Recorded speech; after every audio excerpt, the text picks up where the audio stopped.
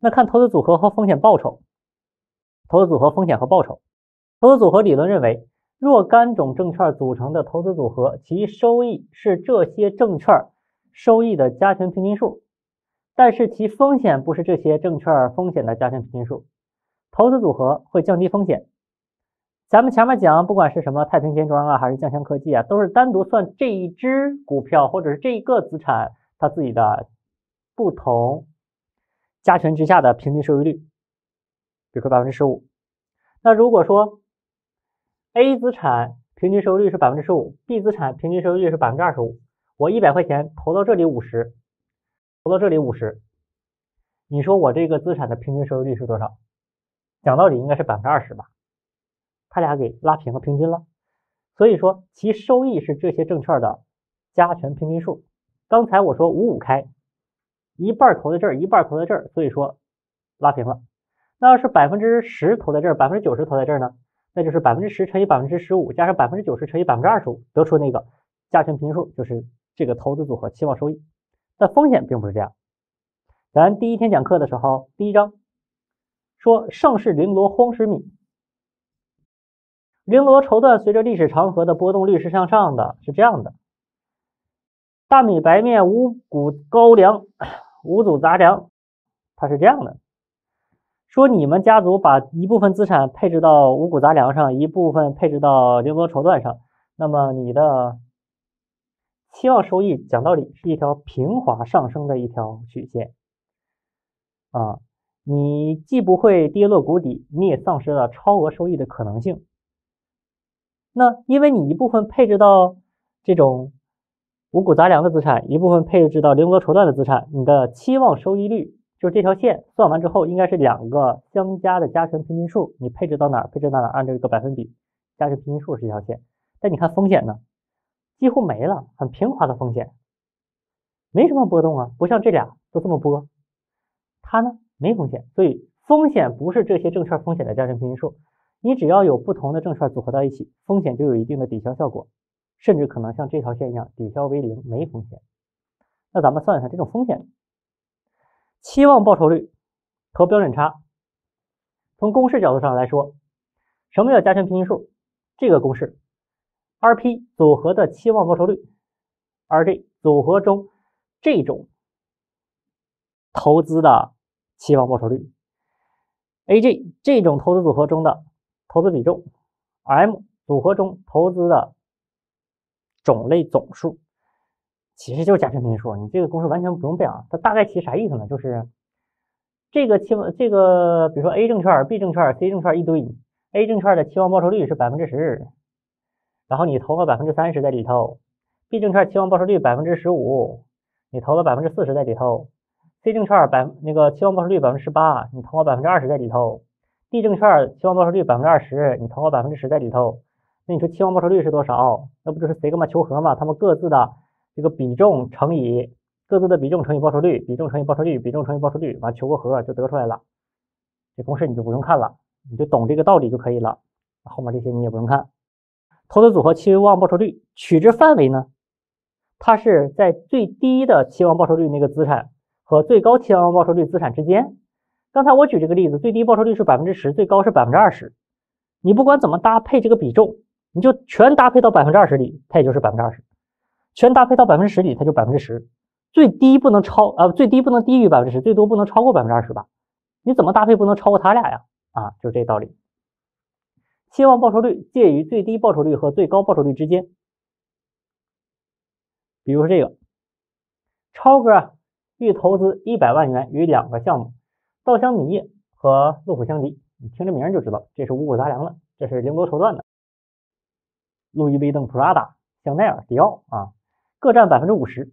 如果稻香米业和路虎香迪的标准差相等且完全负相关，就像盛世绫罗黄石米一样，一个向上涨，一个就向下；一个向下，一个就向上，完全的负相关，它们俩的收益完全能被抵消，即一个变量的增加幅度永远等于另一个变量的减少幅度。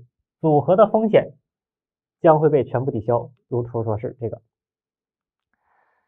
豆豆呢，他投资一百万元于两个项目：稻香米业和福瑞高粱，这明显都是五谷杂粮的，各占百分之五十。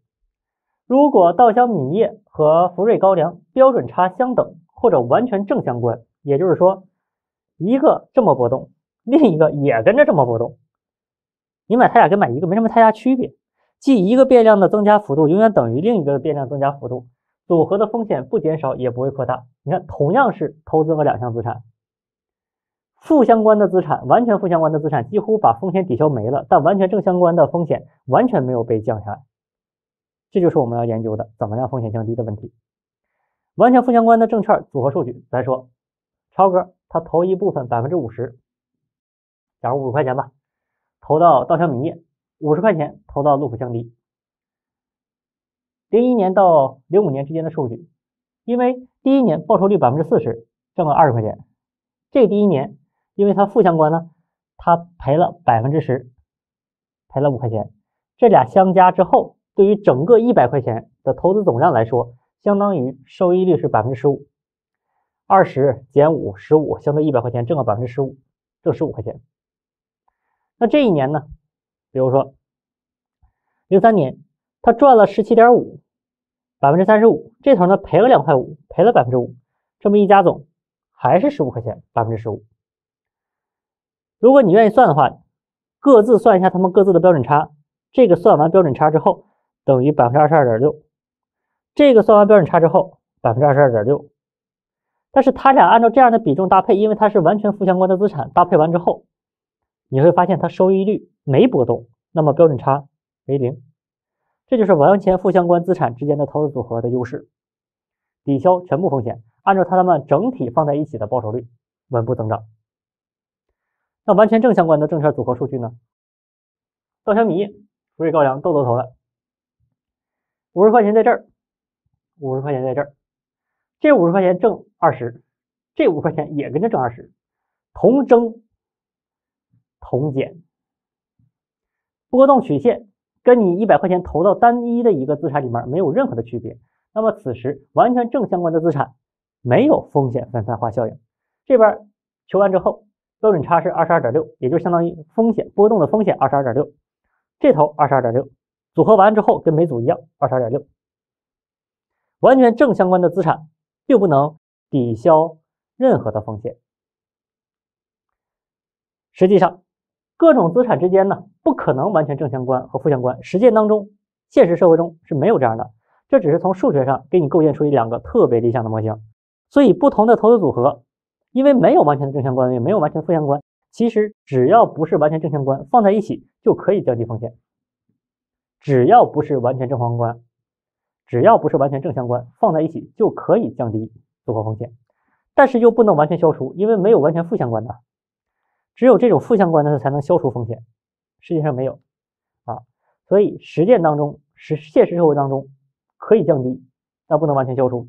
一般而言，资产数目越多。风险越小。那看两种证券放在一起，咱们刚才那个公式，我说你不用背了，那是一个加权平均数。两个证券，两个证券以上的证券放在一起，它的期望值、预期值收收益率是多少？怎么算？刚才算完了。那标准差怎么算？这么算啊？这么复杂的一个公式。它这个 A 呀，就是 A 一就是一资产投资比重。表示投资比重，比如说一半一半的话，那就百分之五十投资到一资产，百分之五十投资到二资产。这个呢，表示这是一资产的标准差，平方就是方差了。这个嘛二就是二资产的标准差，R 一二呢是两项资产的相关系数。咱刚才说完全正相关，那么这个 R 一二，它俩完全正相关就是一，完全负相关这就是负一。如果半相关、半不相关呢？比如说是零点二呢、零点五呢？那直接说是零点二、零点五，就这种啊。这个数的取值是在负一到一之间，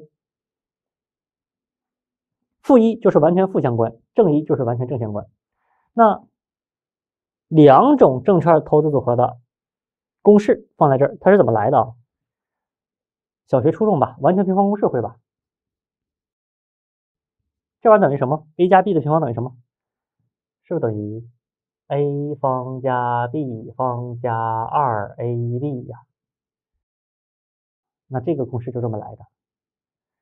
因为正常 a 一 sigma 一加上 a 二 sigma 二，你给它平方一下，你再给它根号一下，啊，它里面这个东西展开是什么？a 一方 sigma 一方加 a 二方 sigma 二方加上二倍的 a 一 a 二 sigma 一 sigma 二，哎，是不是展成这样根号了吧？那根完除完不就这个东西吗？它肯定不是啊，它就多出一个尾巴 r 一二。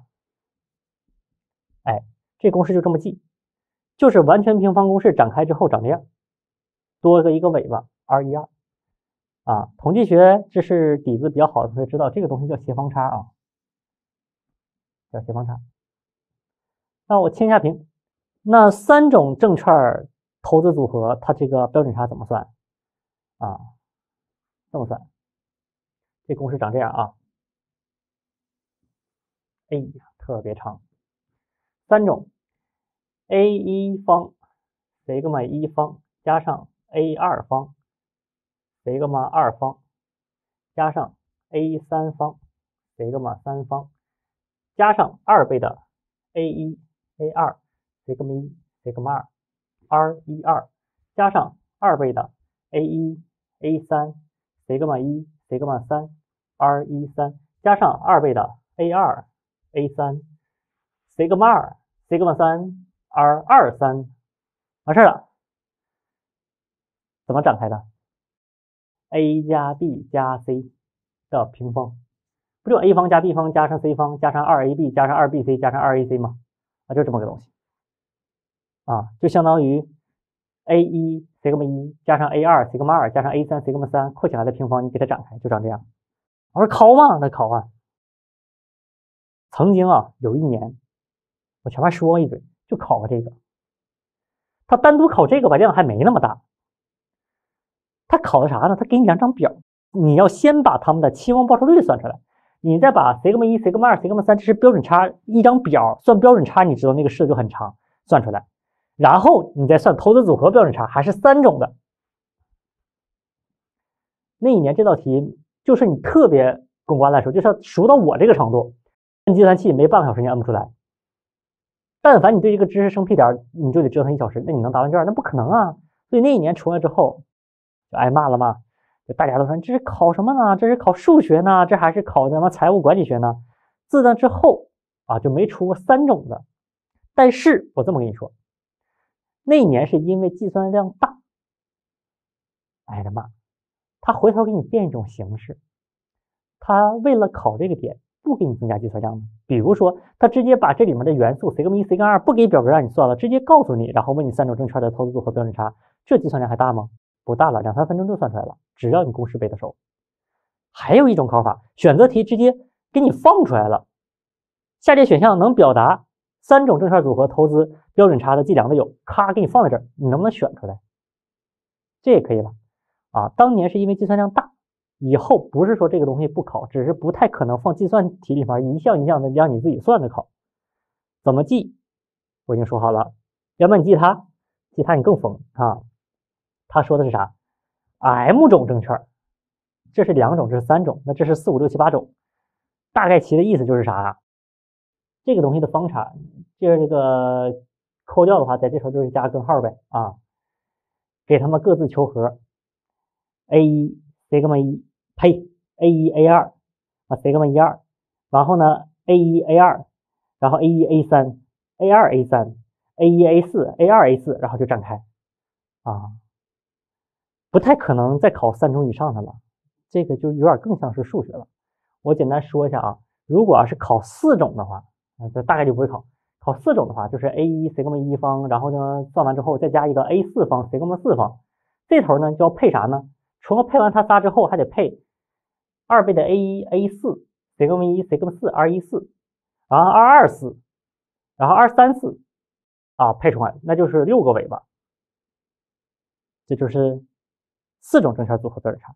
所以你但凡理解了这个逻辑之后，你两种的、三种的、四种你应该都会开。四种的不过就是 a 加 b 加 c 加 d 的平方吗？它你不会展开吗？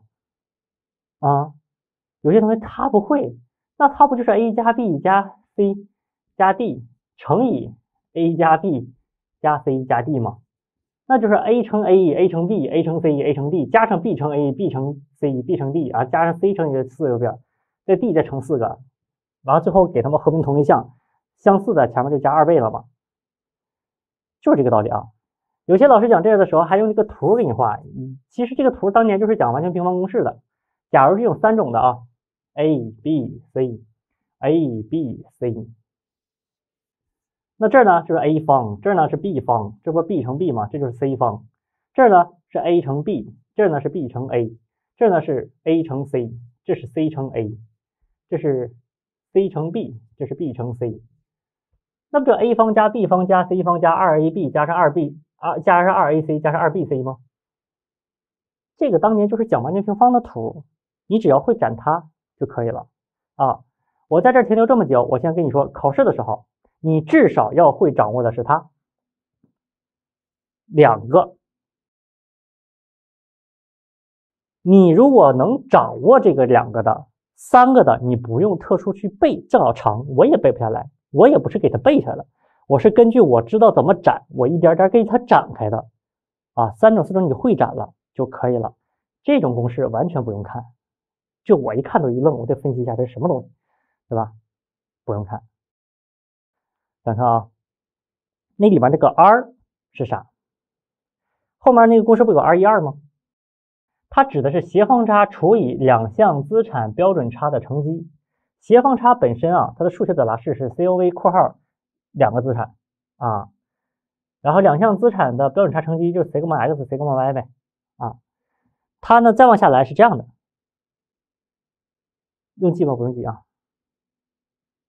这个不用记，万一考到了，万一考到你就自己问扪心自问吧，这些年做什么孽了啊？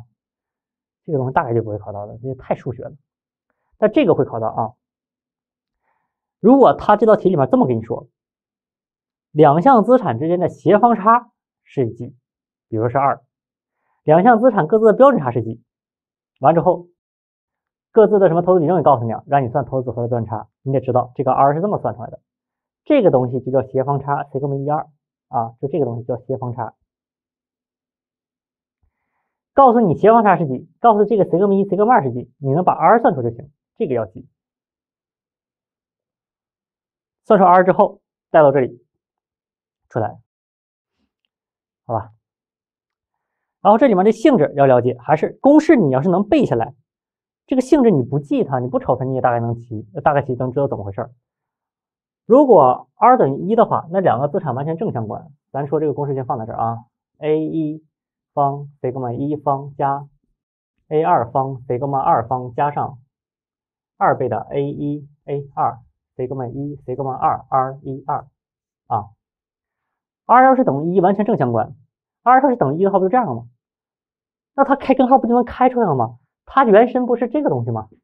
根号下括号 a 一 sigma 一加 a 二 sigma 二的平方，因为有 r 一二，所以不是这样的。那没有二一二的二一二是一，那它不就是这个东西吗？一开根号就是 a 一 sigma 一加 a 二 sigma 二，那不就这个吗？所以说，完全正相关下。投资组合的标准差等于各资产的标准差，根据它投资比重加权平均。如果标准差能加权平均，说明这个资产之间叫什么？完全正相关，没有任何风险分散化效应。各项资产的加权因数。那如果 r 等于负一呢？咱也知道，这个如果变成负一，这个就没了，这块是被负号，那不就是 a 减 b 的平方吗？啊，所以说这块就变成 a 减 b 的平方，一边减号的话，再开平方，那得出的东西就叫做 a 一 sigma 一减去 a 二 sigma 二。因为你平方开根号，所以这个数必须得是个正数，所以加个绝对值啊，就怕你减出来是个负数。此时最小，如果它俩正好相等，那么甚至可能为零。当 r 为负一，完全负相关时，风险被最大程度的抵消，此时风险最小，甚至有可能为零。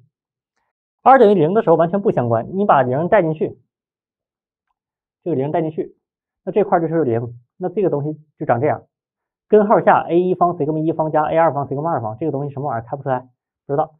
那此时它的风险介于什么呢？介于两者之间，比加权平均组合的加权平均数要小，要比零要大一些啊，介于两者之间啊。那 r 等于负一到一之间的任何一个数，假如是零点五，那你自己算呗，就带进去。这个式子我就没写出来，只不过是一和负一比较特殊，我给你写在这儿了啊。剩下的任何一种，只要会公式都能算出来。做一道题，假设太平全章的股票期望报酬率是百分之十，标准差是百分之十二；酱香科技股票的期望报酬率是百分之十八，标准差是百分之二十。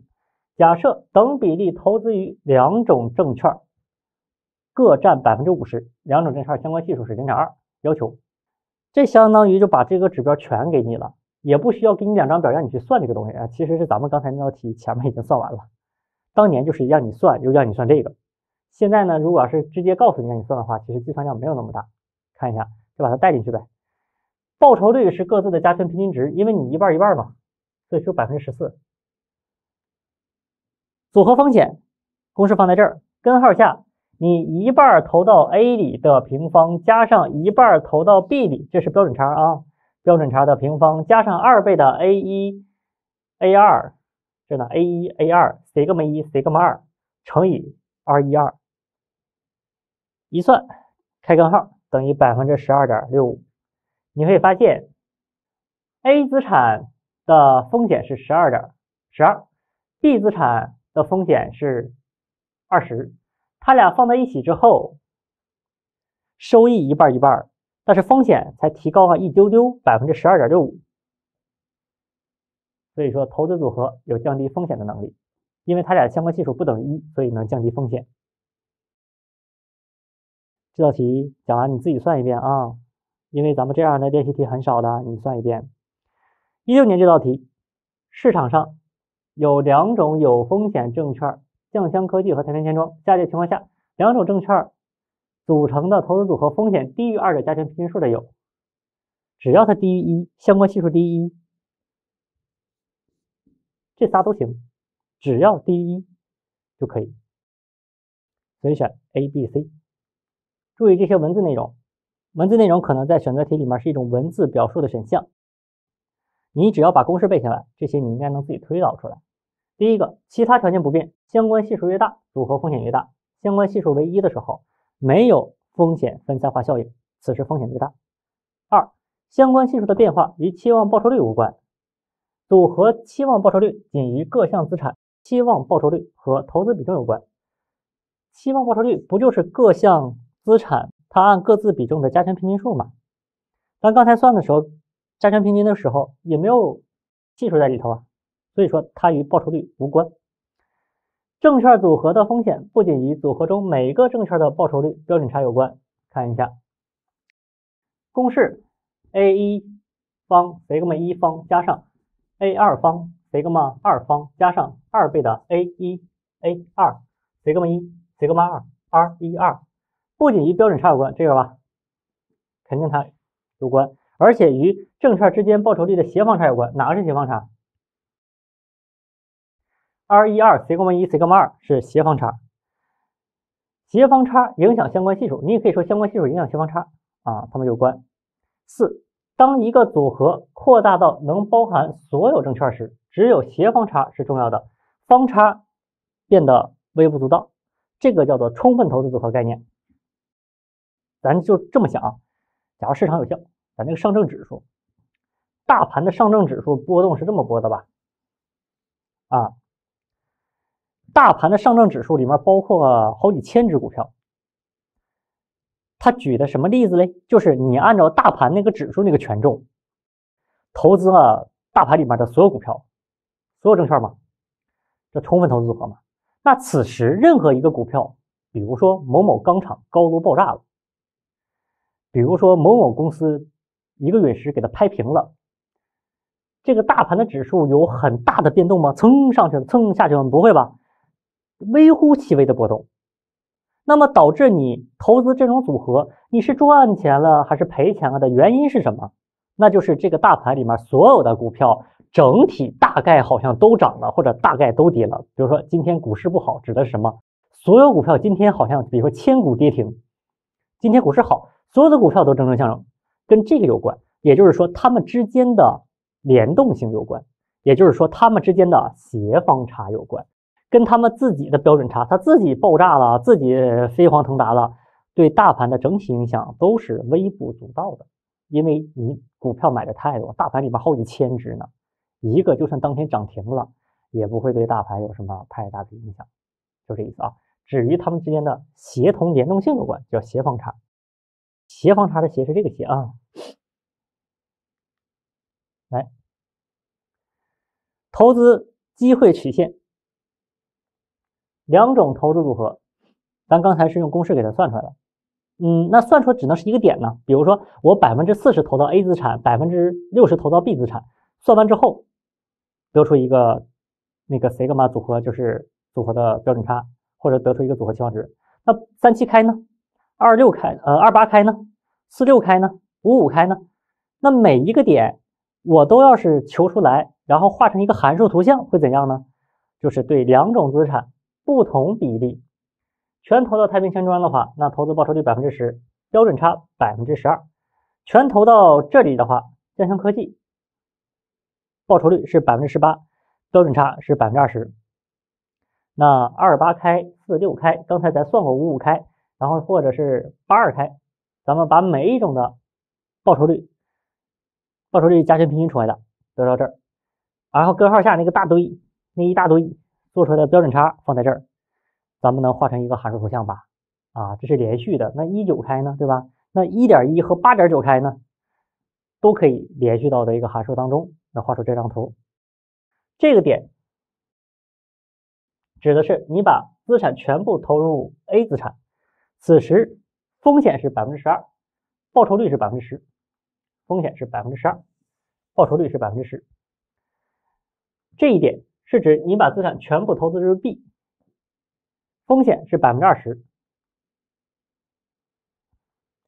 报酬是百分之十八，对应的这边是十八，纵轴是报酬率，横轴是风险。那你会发现啊。报酬率随着你投那个 B 资产，那个 B 资产风险那个报酬率高啊，你随着投它越多，这个报酬率是越来越多，越来越多，趋近于它的。那风险你会发现，它俩呢刚开始搭配的时候有风险分散化效应，完逐渐呢，因为你搭配的 B 资产越来越多，它的风险越来越高，先降后升，先降后升，风险就是先到这头降，横轴上一看，先降后升，二这个点。就是整体搭配过程当中有一个投资比重，使得两者投资组合标准差最低，最小方差组合、最小标准差组合一样。刚才两个资产，咱那道题里面举例是相关系数为零点二，画成正三角线。假如两个资产要是相关系数为一呢？相关系数为一，报酬率是根据两个投资比重的加权平均数算的。那么相关的那个标准差，标准差也是两个资产的加权平均数算的。那此时它的投资组合曲线就是一条直线了，它也不曲了呀，就这条线。相关系数为一，就是它俩这条线。相关系数但凡小于一，它就有风险分散化效应，就会向左慢慢凸出来一点。但是风险分散化效应特别大的时候，就会凸到什么程度呢？凸到超过这个风险比较低的资产，风险比它还要低，就会突出一个肚子。好，证券报酬率的相关系数越小，最后小到负一了，它那个肚子凸的最大，甚至呢，如果是负一的话，按照一定比重去投的话，甚至能风险完全被抵消嘛，为零嘛，就能凸到这个 Y 轴上去。相关系数越小，机会及曲线就越弯曲。风险分散化效应也就越强。r 等于一的时候，就是那条虚线直线，机会级是一条直线，不具有风险分散化效应。r 小一，机会级弯曲，有风险分散化效应。r 小到一定程度才会出现无效级，就会往左、往左、往左做、往左突出个肚子。什么叫无效级？来看啊，什么叫无效级？你说啊？我把资产按照一定的比重投资到这个点，可不可以？可以吧，投吧。但是你会发现，你投资这个点的时候，它上面总有一条点跟你是相对应的，这个点风险跟你一样都在这儿，但是收益却比你高，那你为什么要投它呢？你投它得不得？啊，它俩的比重肯定不一样，它的比重应该是倾向于给币投的更多一些，投这不就得了吗？那你在这儿呢？你如果想投它呢？投它干嘛？你投这儿得了呗。会发现这个点突出肚子这条点往下都能找到一个点比它更优势。那么下面作为基金经理在做投资组合分析的时候，下面这些就叫什么无效的？你投上面就好了，上面这条线叫有效级，二到六这个点，一到二这个点就叫无效级。当 r 小到一定程度的时候，它会往出凸个肚子。只有把它凸到这个点的左侧的时候，它才会产生个无效级，上面叫有效级。像这个小小的弯曲还没突出肚子，那这都是有效的，没有无效级的问题。小到一定程度才会出现无效级。那这是两种投资组合，它的机会级幅度曲线。那如果是一堆两种以上的投资组合呢？假如这个这个图草率一点，这是一二三四个，相当于四个投资组合啊。你假设它是一万个，两种以上证券所有可能的投资组合会落在一个平面中，即机会级是一个平面，啥意思嘞？假如这有一个 A 资产，这有个 B 资产，这有 C，这有个 D，假如这是一万个，好，你单独投资于 B，那你的风险是这么高，收益是那么高；单独单独投资于 D，风险是这么高，收益是那么高。你如果说按一定的比重。一部分投资于 D，一部分投资于 A，它就可能会突出一个肚子。相关系数如果是小到一定程度，会出现这种情况。下面是无效级，上面有效级。如果说一定的比重投资 A 和 B 的话，别的不投，那它俩的线可能是这样的。这里面有好多种证券，我一部分投资于 A，比如说百分之十投它，百分之二十投它，百分之三十投它，百分之四十投它，那个点可能就落在这儿。啊，就是一堆资产。按照不同的比重，那就是无数种组合吧。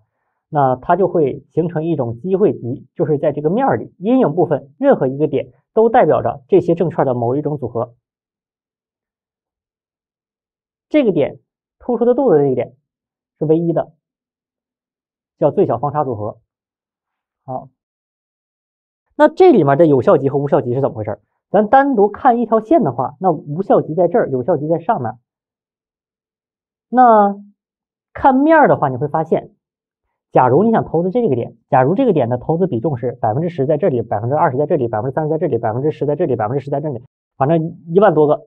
好，假如投在这儿，你会发现不划算吧？这么做一条线，竖线，有一个点风险跟它一样，收益比它高，你为啥不投这儿呢？做一条横线，有一个点跟它收益一样，但风险比它低呀。你为啥不投这儿呢？你会发现，你在任何一个地方找一个点，都有一个更好的点，收益比它高，风险跟它一样，或者是风险比它低，收益跟它一样。再或者是说，比如这个点啊，咱在这儿找一个点，收益比它高，风险还比它低，对不对？这个点，收益在它上面比它高，风险在它左面比它低啊。那也就是说，在这个阴影图形当中，没有任何一个点是我们。投的优势点，咱直接在这条线上找就行了。所以，一个面儿，也就是多个资产的投资组合图像的时候，只有这条线是我们的有效级，你就在这条线上投就得了。剩下的点呢、线呢都是无效。有效级位于机会级的顶部，就是整个图像的顶部。从最小方差组合点起到最高期望报酬率的点止，最小方差组合点起到最高报酬率点止，加粗那个红色曲线。那它无效级呢？有三种情况。其实除了这个红色不都是无效吗？无效级里面有三种情况：一是要么相同标准差和较低的期望报酬率，它俩去比，相同的标准差，较低的。报酬率，第二种情况，相同的期望报酬率和较高的标准差，它和它比，相同的报酬率却有较高的标准差，它低呀。较低的期望报酬率和较高的标准差，这个点跟这个点比，它较低报酬率比它低，较高的标准差它比它靠右，标准差更高。所以说无效级里面的点都是没投资意思的，咱直接就投那些有效级就完事了。这就是我们基金经理最主要研究的内容。他选了十只股票，这十只股票我按照什么样的百分比构成？能卡在有效级上，而不是卡在这些区域里，风险最低，收益最大。来，下图列示了 M、N 两种证券相关系数为负一、零点三、零点六和一时投资组合的机会曲线。其中代表相关系数为零点六的机会曲线是零点六，零点六你找呗，这是直线，这是凸到那个 Y 轴上了，零点六应该是在它旁边那个呗。一二三四零点六是它的，嗯，M O N 线呗，选 A，这容易选啊，因为它就是按顺序走的，按大小往下排的。第三个，带有无风险证券的投资组合，咱刚才说这个机会级呀，是一堆风险证券的投资组合，啥意思嘞？任何一个证券，它有一个报酬率，都对应一个波动风险。但是市面上还有一种证券，它是没风险的，比如说银行贷款、银行存款，或者是国债券，咱们视它为无风险。此时它的风险为零，有没有收益？有啊，国债它得给你利息啊，收益率可能在这儿，这个点就代表，比如说是国债。那么如果你想把钱一部分投到这种无风险证券里面，国债里面，一部分想投到这些风险证券，比如说股票里面，那你。这个一部分一部分按照不同的比重，是不是就可以又画成一条线？咱看啊，先别看它容易被干扰。假如政府债券，政府债券投资报酬率是百分之五，你的呢？构建了一个风险组合，比如说 A、B、C、D 四种股票，一样投百分之十、二十、三十、四十，一加起百分之百啊，它们之间互相的比重是十、二十、三十、四十。构建出这种组合，风险比如说是二，报酬率假如是百分之十。你现在呢有一百块钱，想五十块钱投资到这个证券组合里，五十块钱投资到咱们这个债券里面，你说你的风险是多少？投资报酬率是多少？应该在这儿吧？一和七点五。那为啥是正中间呢？为啥不是个曲线呢？是个直线呢？你想嘛，投资组合的风险是多少？投资组合的期望报酬率是多少？投资组合期望报酬率加权平均数吧，一半一半嘛，所以说在中间。投资组合的风险呢？根号下 a 一 sigma 一方方加上 a 二方 sigma 二方加上二倍的 a 一 a 二 sigma 一 sigma 二 r 一二。首先啊，这个式子当中，债券、国债券它是没风险的啊。这个 R 一假如对，呸，sigma 一假如代表的是这个投资组合的标准差，sigma 二代表的是国债的标准差。国债没风险啊，这个项是零啊啊，这块呢零啊，甚至它的相关系数也是零啊。国债的波动跟你这个有什么关系？没有关系，它零啊。所以说这个式子就变成这样了。那这开根号不就是 a 一 sigma 一吗？对吧？国债和你这个投资组合按照一定比重配在一起，它的风险就等于你这个投资组合的风险乘以它的比重嘛？你不是一半配到了这个投资组合里面，那就是零点五乘以 sigma 一呗。那你之前是二，那现在就是一呗。所以说，政府的债券视为无风险报酬率的时候。你拿一部分钱投资到政府债券里，一部分钱投资到风险组合里面，它的风险也是加权平均数，那就可以画条直线了。啥意思嘞？一半一半，那个投资组合的点就在这儿吧？那二八分呢？百分之二十投资到政府债券，百分之八十投资到这个风险组合呢？那就在这儿呗。一九分，假如百分之十投资到这个风险组合里面，百分之九十投资到国债券里面，那就在这儿呗。这段线段代表着就是你把一百块钱按照多少比重投资到政府债券里，多少投资到你的风险组合里。那这条线以外的这部分呢？你是风险厌恶型还是风险偏好型？我是风险偏好型，我觉得不爽，我拿一百块钱玩不够刺激，我跟银行再贷款，再贷他一千块钱去玩这个东西。好，你跟银行贷款这个利率，我们这里面假设是你存款利率是百分之五，贷款利率也是百分之五，这叫无风险利率。存贷款是一种无风险的证券交易，都是百分之五。如果你一百块钱玩不够刺激，一百块钱全投资风险组合里面，你这个点就在这儿呗。你还想再借一百块钱投资到风险组合里，那你的点就在这儿，相当于你再拿二百块钱投资到风险组合里，你就跟别的银行或者是什么债权人什么的又借了一百块钱，你就有二百在这儿，三百就在这儿啊，就往上去了啊。这个点风险组合点。是你百分百的资金投入到风险组合当中，这个点的左侧是指你一部分钱投入到那些无风险组合中，一部分投资到风险组合中。这个点的右侧指的是你借来更多的钱，以无风险报酬率借来更多的钱投资到风险组合当中，投的更多。那咱再回到这条线上，这个蓝线就是刚才那条线。假如你选的投资组合点是这个点，无效级里的一个点。这点假设就是百分之十投到 A 资产，百分之二十投 B 资产，百分之三十投 C 资产那种那种比重。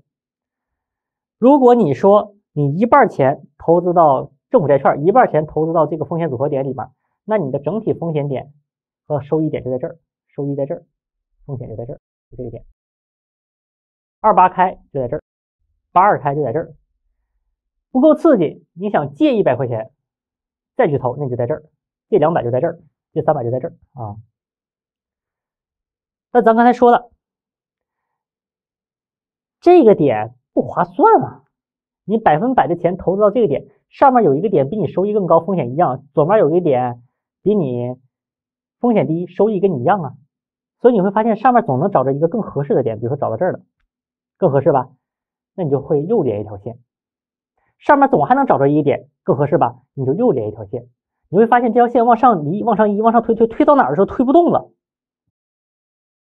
到这儿，红色的线是指你一部分钱投资到了政府债券里面，一部分钱投资到风险组合当中的某一个点，这个点是这条线与这个弧线的切点。这条线推推到哪推不动了？推到唯一那个交点上，切点。你再往上推，它俩没交集了。你把这线画这儿去，那它俩没交集了，没意思了吗？你得是这个底里面有一个点，这里面有个点，让它俩连线，这个是收益最合适的那个点啊。这个同学知道吧？一个线和一个弧线的，这个线是这个弧线的切线，切线的点是唯一的，只有一个点啊。这个点我们命名它为 M 点，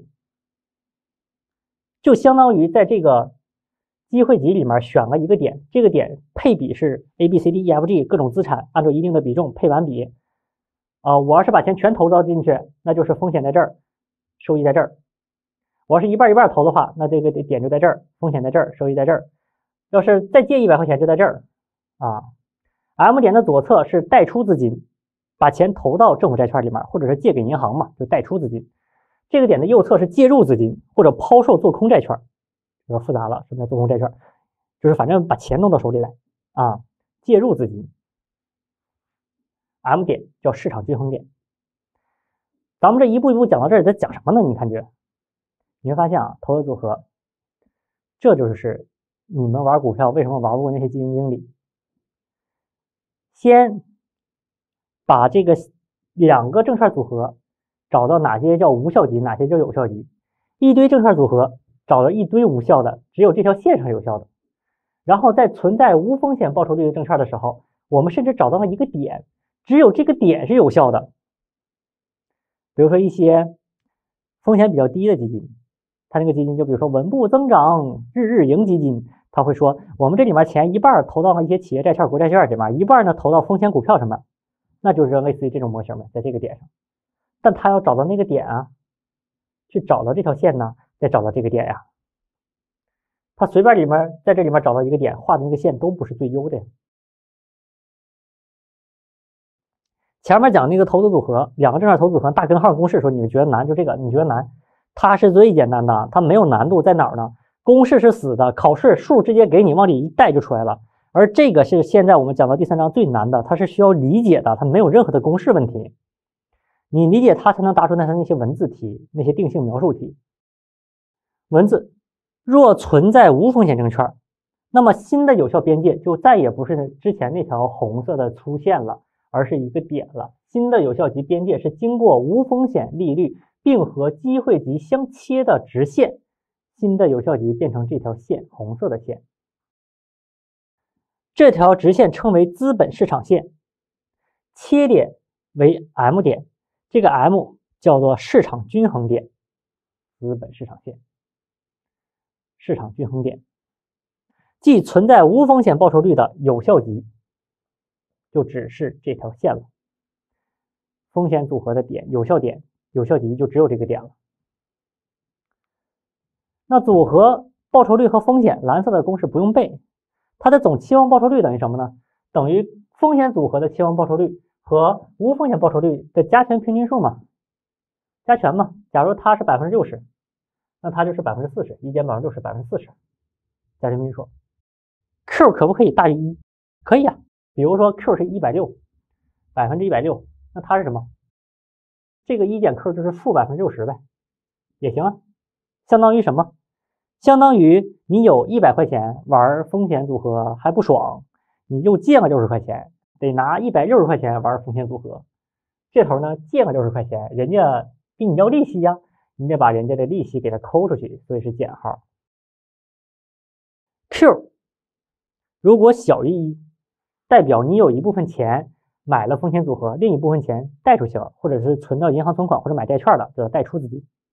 如果这个 Q 大于一，说明你拿所有的钱买了风险组合，你还借了一部分钱买了风险组合。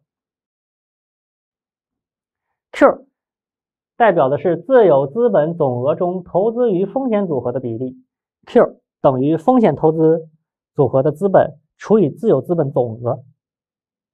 啊，其实不重要，你就理解我刚才那个百分之一百六和六十的一个代表就可以了。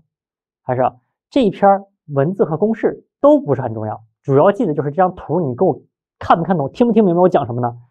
回头考文字的时候，他可能考教材上写的这些文字，他也可能考额外的自己瞎编的，编出那些东西可能是不对，因为他瞎编的嘛。但是你得知道这个图怎么回事，他瞎编那个东西，哦，他瞎编的不对，你能看得出来，能选得出来，好吧？这里面涉及到一些资本市场线的结论，一共六条。未来所有在这块考的选择题都是在这六条上延展出来的，换句话都是这个图上延展出来的。第一个，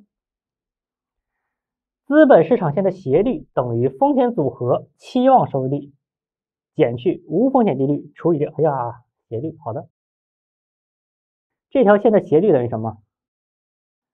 是不是这条线延长之后与 x 轴的夹角？那咱们在这儿做条线呗。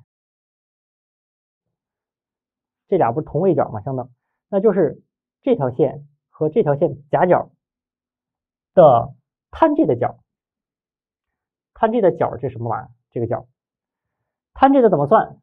这条线的长度比上这条线的长度，那这条线的长度怎么算？这个点减这个点呗，这个点是风险组合期望收益率啊。画太长了，你可能不好看啊，画到 M 点上吧。假如你选的是所有的资产全投到 M 点上啊，摊这的这个角，那就是这条线比上这条线啊。那这个点呢？M 点啊，假如这个点是 M 点，这个点呢就是风险组合期望收益率。那这块呢，长度减去啊，不就是无风险利率吗？啊，投资组合的风险报酬率减去无风险利率，除以风险组合标准差，这个长度。那不就是这个点的风险组合的标准差吗？所以是风险组合投资报酬率减去无风险报酬率，得出这个长度，除以风险组合的标准差，就是 tan 的这个角，就是斜率。斜率求的方式有两种啊，第一种是 tan 的这个角，一种是等 y 等于 a 加 bx 嘛，你给它转换成这个直线公式，其中 a 加 bx，其中这个 b 就是斜率啊。只不过这道题呢，因为没给你直线，没给出这个直线方程，你瞅这个 b 不太方便而已，所以你就别用这种方法。以后我们也会讲这种方法，碰到的就会用。等会儿马上讲到证券市场线就会用。啊，摊这的这个角，截距是什么呢？截距是这条线与 y 轴的起交点到原点的距离，这叫截距。所以截距就是这个无风险报酬率啊，对吧？第三个，市场均衡点 M 是唯一的有效的风险资产组合，是所有证券以各自的市场价值为权数的加权平均组合，也称市场组合。这个稍稍难理解一点啊，就是说我们这个市场啊，你说那个上证指数，那大盘这个指数长这样，然后你玩那些公司是不是有市值几千亿的，也有市值几十亿的，也有市值几千万的？为啥呢？是不是就是？整个市场上，大家的投资人认为几千亿那公司值几千亿，几千万的公司值几千万，他们的钱自然就在社会上融通给配比了。好的项目自然就融到了几千亿，差的项目自然就融到了几千万，是这样吧？那大盘的上证指数是怎么算出来的？你可以有兴趣百度查一下，其实就是按照各自的权重，按照各自市值盘子的权重算出来的。你是两千亿的权重就给你大一点。你是两千万的那个权重就给你小一点，所以说两千亿的那个公司如果要是波动个百分之十，大盘影响的就很大。两千万那个波动百分之十，大盘可能都没反应啊。那如果说整个上证指数代表着这个社会里面所有的股票，或者道琼斯指数也行，纳斯达克指数也行，就是反正这个市场里的所有的股票，按照各自的市场价值权数平加权平均组合，那就基本是那个指数了啊。按照这个指数，你去配置你的资产，那我们叫它市场组合，就叫充分投资组合，就相当于市场有效，市场上所有的现金、所有的资金，按照各自的权重，按照这个这个是好项目，这是差项目，已经融通完了的那个组合，这个组合就是现在的市场组合最有效的。那现在呢，也有债券啊，也有银行存款呢，你跟它之间按照不同的百分比配，就会得出这条线。如果市场完全有效的话啊，假如咱们在第一章学那个市场有效，其实现在市场无效嘛，嗯，就咱们可能还没达到弱势有效。就假如市场是有效的话，现在那个市场，股价市场、股票市场就是最完美的，没有任何信息失真的市场。那么这个线算出这个点切点，就是现在上证指数或者是各种大盘的指数，按照各种资产权重配出的那个点，就是那个点。所以它叫做唯一的有效的，呃，股票知识不是特别丰富的同学，这块你可能就不用太过理解啊。你实在理解不通，因为你没玩股票嘛，你理解的就很愣，你理解那个东西可能不是真的。所以说呢，你就给它记住就行。M 点是所有证券放在一起，按照各自权重唯一的那个点，它也叫做市场组合。因为你理解你也得背这个词儿，它叫市场组合。第四个，在 M 点的左侧。投资者将贷出资金买入无风险资产，M 点的右侧，投资者将介入资金进一步追投 M。这个点左侧是贷出资金，这个点右侧是介入。咱刚才说过的，投资者个人的风险偏好不会影响这条线的位置，也不会影响机会级这个点的位置，它只会影响你的贷入资金和贷出资金。就是我是一个风险厌恶型的，我不想去玩那些风险，那你上这儿来买一堆债券得了呗。嗯，你想有点风险的收益，那你就放在这儿呗。你这个风险极其偏好，那你放这儿去呗。介入前买股票呗。所以你个人的风险偏好只会影响你在哪一个点上买股票还是买债券，并不会影响 M 点的位置，不会让它这条线画到这儿或者画到这儿，不会的。第六个，预计通货膨胀率提高时，无风险利率会随之提高，它所影响的是资本市场线的截距。什么叫通货膨胀率？市场整体利润率提高啊！今天一块钱买一个苹果，明天就两块钱买，通货膨胀率百分之百啊！此时无风险报酬率就得提高啊！你说明天两块钱跟今天一块钱一样，你还给我百分之五的报酬率，是不是我就不买你债券了？所以说债券的利率就会提高，债券利率提高，那股票也一个道理啊！你百分之十五的收益率，明天苹果就卖两块钱了，你还给我百分之十五。它也会提高，所以整体这条线和这个图都会向上平移，这个图也平移了，这个线也平移了啊，这画的是平行的啊，平行的跟这条线。它只会向上平移，平移完之后，这个截距就会变大呀。所以，通货膨胀率提高的时候，无风险报酬率会随之提高。它所影响的是资本市场线的截距，并不影响它的斜率，就是这个弯曲的程度，也就是这个摊这的角，这个比这个不会变化。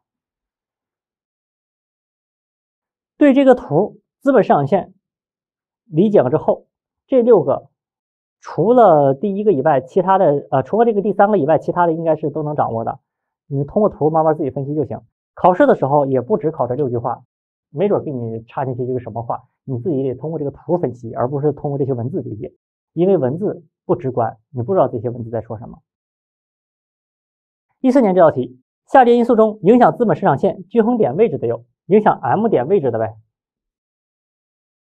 影响这个点的位置的，个人不会影响吧？好，影响的是无风险利率，因为这个点是怎么画出的？是无风险报酬率到这个投资组合的风险报酬率这个点的一条直线，这个点肯定会影响啊。这点如果高的话，这条线就得这么画了，是吧？M 点位置就变了。